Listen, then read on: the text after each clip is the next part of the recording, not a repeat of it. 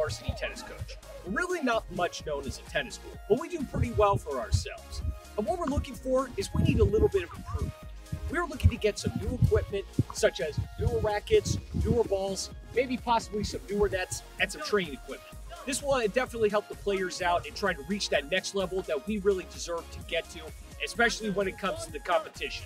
So please help donate to the Meade High School uh, tennis program at go Mustangs.